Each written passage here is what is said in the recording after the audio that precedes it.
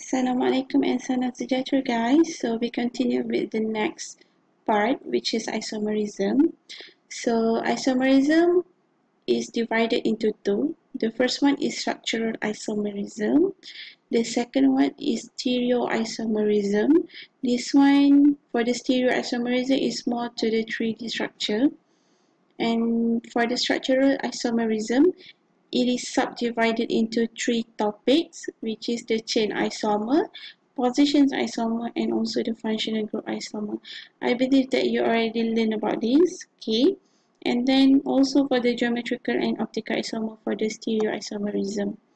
Okay, so for the first one, structural isomerism, Okay, we have chain, positions and functional group.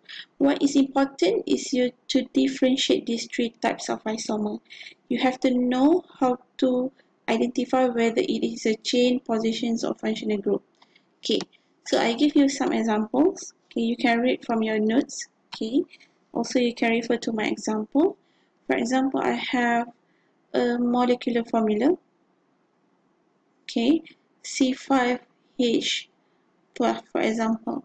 So first thing first, you have to check whether this is uh, contain double bond, single bond or triple bond, alright?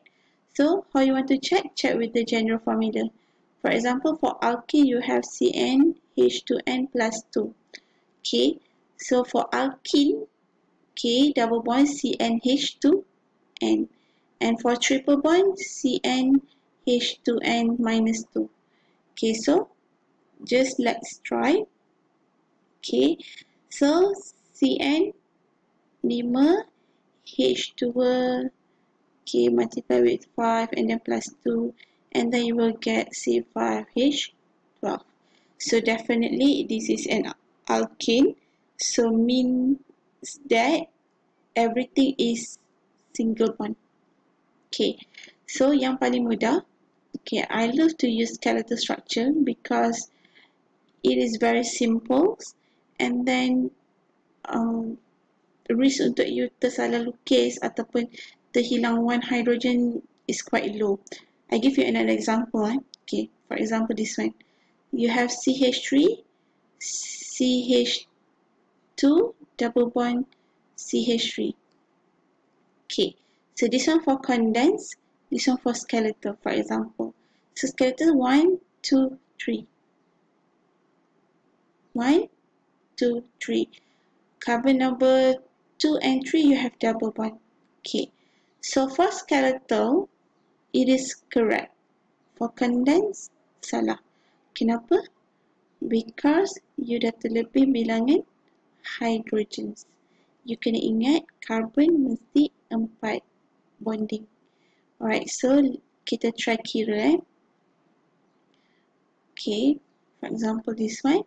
So karbon pertama satu bonding dengan karbon, tiga bonding dengan hidrogen. So karbon pertama bonding dia empat bonding. So okay. Karbon kedua satu bonding dengan karbon yang ini, dua bonding dengan karbon yang ini. Okay. So empat bonding di sini. Okay and then and then lagi satu bonding di sini. Okay. So satu dua, tiga, empat. Yang ini refer to this one. Lima. So, yang ini dah ada lima bonding. So, dah salah. Yang hujung pun saya tulis balik dekat sini. Yang ada CH2. CH3 tadi kan? Okay. So, yang ini dah ada tiga bonding dengan hidrogen. So, tiga bonding. Empat bonding. Lima bonding. So, dah jadi lima bonding.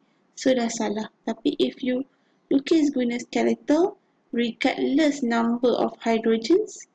Okay so you dah boleh reducekan uh, potensi ataupun risiko untuk you careless dekat bilangan carbon number dengan hydrogens number. So you dah untung dekat sini. Okay so that's why saya kata skeletal is the best uh, structure. Okay kalau expanded pula let's say okay you lukis the structure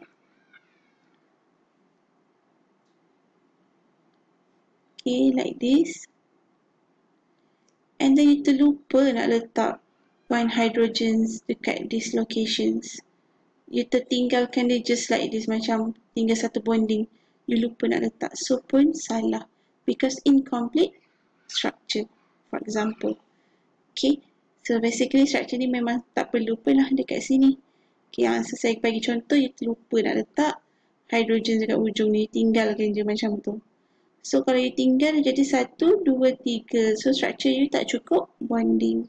So dia jadi salah juga. Alright. So, that's why saya prefer guna skeletal.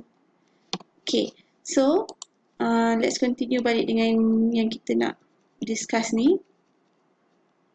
Okay, so yang paling mudah, okay, kalau awak dapat soalan untuk lukis structure structural isomer, yang paling mudah adalah you lukis skeletal dengan carbon yang paling panjang yang dia ada. So dekat sini dia perlukan 5.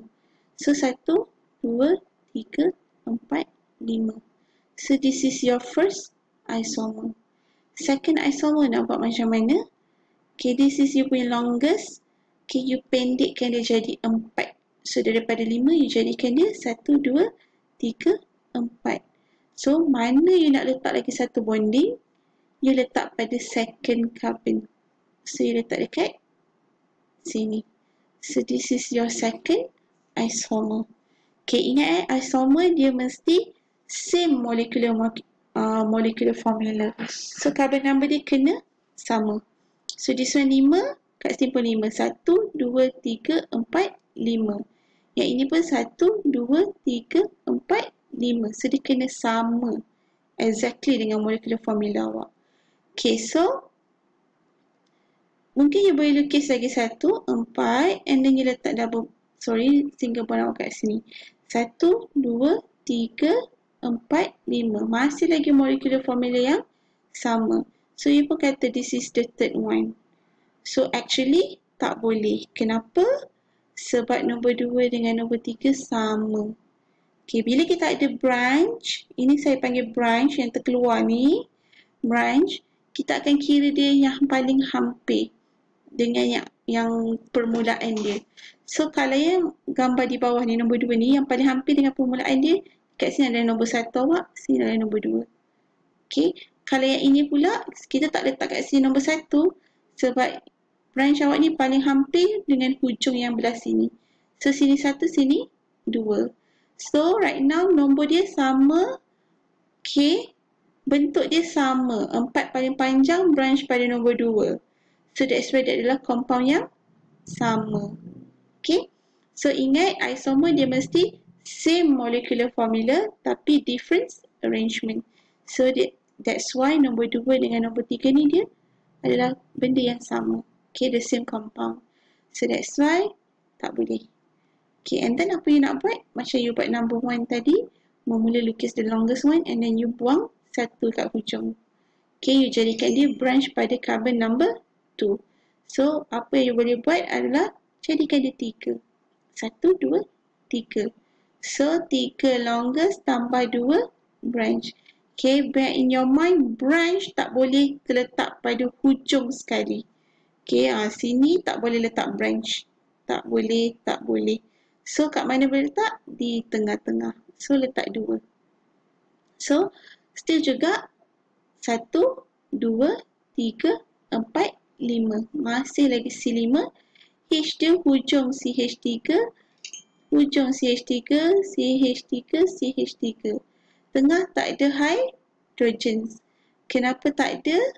Sebab karbon awak di tengah tu dah cukup dengan empat bonding. Cukup. Satu bonding, dua bonding, tiga bonding, empat bonding. Ingat karbon mesti empat bonding. So that's why this is your structure carbon ada lima, hydrogen ada satu, dua, tiga, empat. Empat kali tiga, dua belas. So this is your chain structure. Apa yang berubah? K adalah you punya chain structure. Okay. So saya bagi contoh tadi eh. Lima jadi empat jadi tiga. Carbon chain yang paling panjang ni. Okay, yang continuous ni yang telah berubah. So that's why kita panggil dia chain isomer. Okay. Second one, kita ada positions isomer. Apa maksud positions? Perubahan pada posisi. Okay, for example tadi saya ada C5H11BR. Okay, you pun buat macam mana saya ajar tadi. And then you letak BR di hujung. Okay, satu, dua, tiga, empat, lima. Masih lagi lima karbon. Hidrogen tiga campur dua, lima campur dua, tujuh campur dua, sembilan campur dua, sebelas. So masih sama. So and then you pun buat macam ni. You letak dia di hujung. Masih lagi di hujung. Okay, you letak satu branch dekat hujung. Kat nombor dua. So sini satu, dua, tiga, empat. Okay, lima. So masih lagi C5H11. So ini kita panggil sebagai chain isomer. Kenapa? Sebab locations of BR awak masih lagi pada carbon pertama. Okay, kat sini awak nampak kelima kan? Tapi yang numbering dia yang sebenar adalah sini satu, dua, tiga, empat, lima. Untuk numbering of carbon, you akan lebih jelas lepas kita dah masuk chapter number 2 nanti. Sebab you akan, you akan belajar on the nomenclature. So, dia, so kita akan belajar on the numbering. Alright. So, positions dia mesti berbeza. So, since sekarang ni yang berbeza adalah carbon number pada longest carbon chain. So, sebab tu ini adalah chain isomer. So, kalau you nak jadikan dia positions isomer, let's say tadi carbon pertama, you kena letak BR pada carbon ke dua. Satu, dua. So, yang ini berdua. Okay, yang ini adalah position isomer. Kenapa? positions BR berada pada tempat yang berbeza. Untuk yang color orange ni adalah chain isomer sebab carbon chain dia yang berbeza tapi positions isomer dia pada kedudukan yang pertama. Okay. So, untuk the last one which is functional group, you I think you can guess. So, meaning that the functional group mesti berbeza. Okay. For example, saya bagi awak C5H10. So, C5H10 dia bersesuaian dengan CnH2n. So, meaning that dia boleh ada double bond. So, functional group, kalau you buat macam ni, double bond di hujung, dan juga you letak double bond dekat sini, so ini adalah positions I. So, kenapa? Positions of double bond yang berubah functional group dia tetap double bond. So functional group dia sama. So dia bukan functional group isomer. So apa yang you kena buat? You kena create another functional group yang comply dengan this structure. This molecular formula. So another examples macam ni. Okay. So you bentuk dalam bentuk cyclo. Okay. Ataupun kita panggil dia cyclic structure. So, functional group dia tak ada double. So, functional group dia berbeza. Adakah dia comply dengan C5H10? You boleh kira. So, setiap hujung CH2. Kenapa? Sebab satu, dua. Tak cukup berapa hidrogen? Dua lagi kan? Sebab dia condense. Tak nampak bilangan carbon dan hidrogen. So, setiap hujungnya adalah dua. So, you boleh kira satu, dua, tiga, empat, lima. Lima hidrogen. Sorry, lima carbon. Hidrogen dia dua kali. Lima dapat sepuluh hidrogen. So, meaning that this is isomer to the first one. Okay, the first and second one is isomer. What type of isomer? Adalah functional group isomer sebab functional group dia adalah berbeza. This one is an alkene. This one is a, a cyclic hydrocarbons. So different. So untuk stereoisomerism, uh, kita sama dengan next video. Alright, so thank you guys.